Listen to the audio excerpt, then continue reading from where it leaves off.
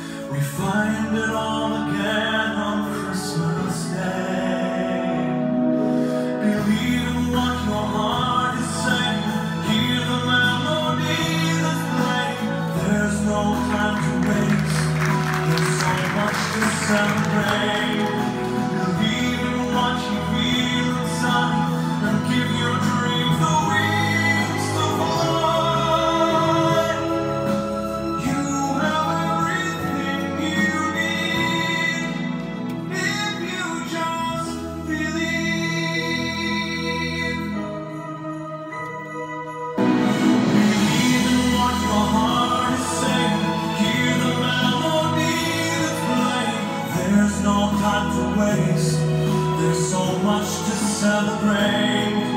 Believe in what you